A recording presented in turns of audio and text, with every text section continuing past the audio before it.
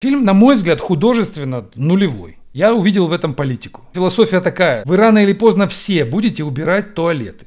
Это мы, вот мы с вами, вы, я. А будет другая каста людей, и она будет туалеты не убирать, они, она даже ходить в общественные туалеты не будет. И с этой судьбой нужно смириться. Он не про то, что э, угнетенный э, трудящийся класс э, берет в руки оружие и пытается восстановить справедливость. Нет, это о трудящемся классе, который согласен со своей позицией. И вот вам Канский фестиваль.